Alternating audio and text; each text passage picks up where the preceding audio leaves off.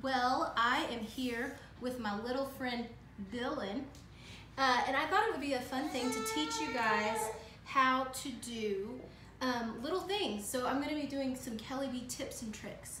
Uh, and the first one that we're going to start off is actually baby food, which is kind of fun, which, which will incorporate, uh, incorporate her in a little bit.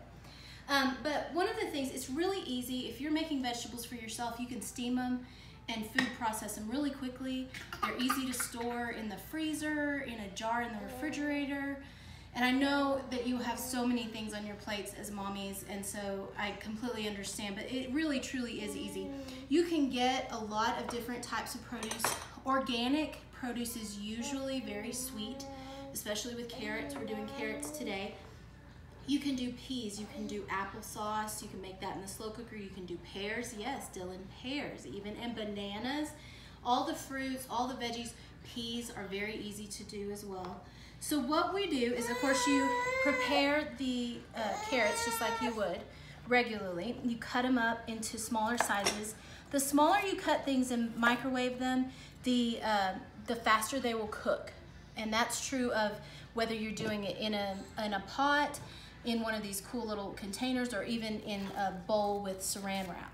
Um, and so those are the three ways that you can really do it. I have done it, yes, Dylan agrees. I have done it in this little uh, glass container. They come in different sizes. They're Pyrex. They're very inexpensive. They're like, the small ones are under $8. The big ones are under like 10, 15, something like that. It's not too much. If you don't have these and still want to do it in the microwave, just get you a bowl, put everything in the bowl, and then you will just plop it in. Let me show you actually, because we've got some here. So we're just gonna put this into the bowl or into the Pyrex, chop it into, you know, just medium size pieces. You could also do this with uh, those little baby carrots that everybody loves so that you don't have to, you can skip a step. You then pour in a tablespoon of water. This is what's gonna help steam it in the microwave. Um, just one tablespoon. That's pretty much any size you have, that will work. You cover this up, kind of loosely, not crazy tight, and then you wanna just punch like just a few holes, just teeny tiny little holes. Dylan, we're almost done. Anyway, pop this in the microwave, and you can cook it for about a minute, then you want to do 30 second increments and test it with a fork to see if it's done. So like with this one, we have these that I already did and they are fork tender, um, which is perfect. Now, if you are doing different vegetables, so like spinach is gonna cook crazy fast, peas, crazy fast. Uh, carrots are gonna be a little more dense, so they're gonna take a little longer, but that's the only difference.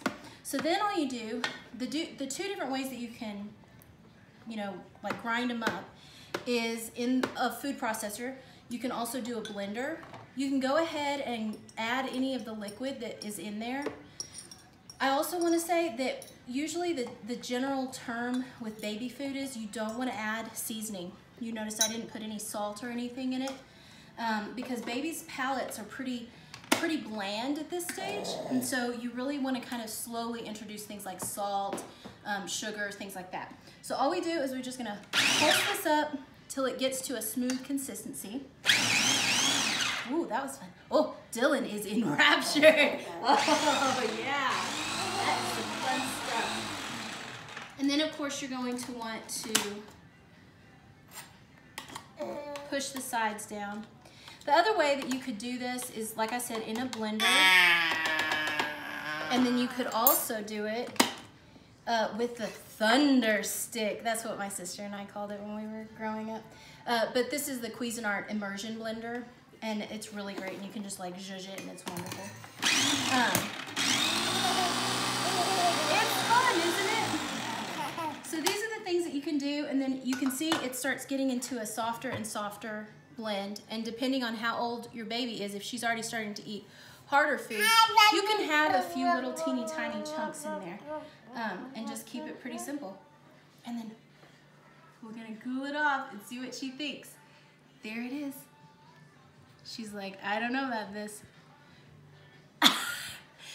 That's how you can do some of these things that are pretty quick and easy and it didn't take very long. It just takes a little bit of time, which I know you are all short on. But this is a fun and easy way that you can get your other kids involved in cooking.